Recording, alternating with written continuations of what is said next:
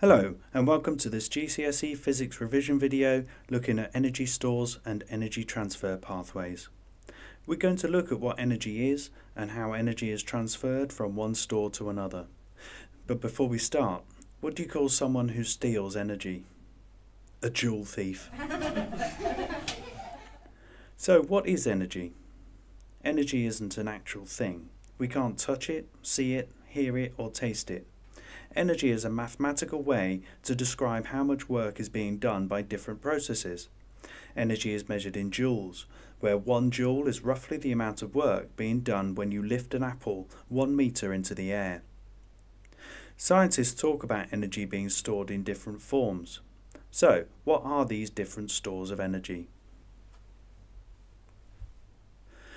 There are nine main energy stores that you need to be aware of. These are the chemical stores, such as fuels, food, or electrical cells, the kinetic store, which holds the energy of moving objects, the gravitational potential stores, which describe the energy of an object due to its height above the ground. Remember the apple from a few seconds ago.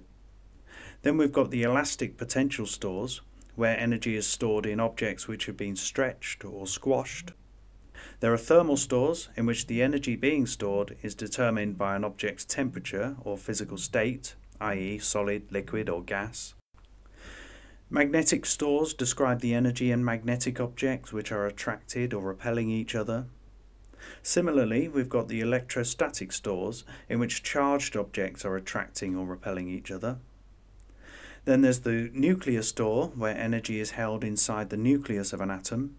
And finally, there's the vibrational store of energy in a vibrating object. I like to think about the various energy stores being emptied or filled. So try to think of it like water being stored in beakers and being transferred or poured from one beaker to another. This way, as one beaker empties, another one fills, but the total amount of water, or in this case energy, stays constant. So the total amount of energy in the universe remains constant, it isn't created or destroyed.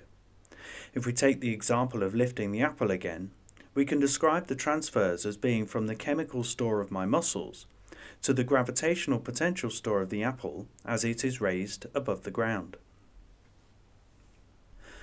Let's now have a look at the methods by which energy can be transferred. There are four methods or energy transfer pathways. The first is the heating pathway. Here, energy is transferred from one store to another due to the difference in temperature between the objects. Energy will flow from the hotter object to the cooler one. Then we have the radiation pathway.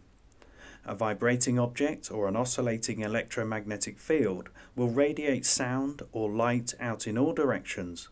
It will eventually be absorbed into the surroundings, causing their temperature to rise slightly.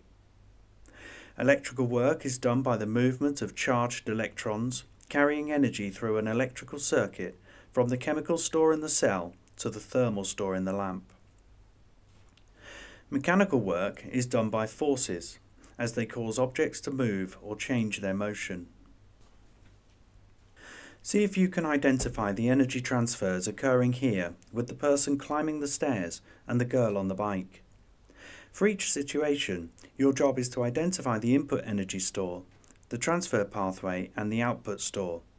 Why not pause the video here and have a go for yourself before I talk you through the answers. Looking at the person on the stairs then, we can describe the transfer as being from the chemical store in their food, or blood glucose, to the gravitational potential store as they push themselves further from the Earth. The pathway in this case will be via mechanical work, as forces are being used to push their body upwards.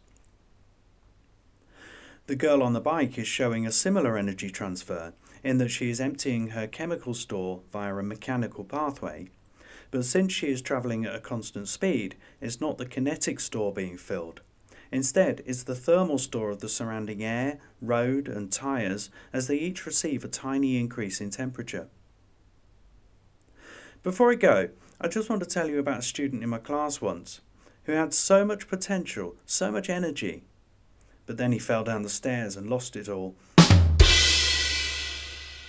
Finally, I want you to be among the first to see this new infinite energy transfer machine I've created. I'm hoping it'll work. so that's it for now. Don't forget to watch my other revision videos and subscribe to my YouTube channel. Please remember to stay in touch. You can get some interesting and fun science content, notifications of new material, or revision advice by following me at plutoniumscience.com or via my Twitter at PU94Science. If you prefer, you can email me directly to suggest some other content or to just ask a question about what you've seen here.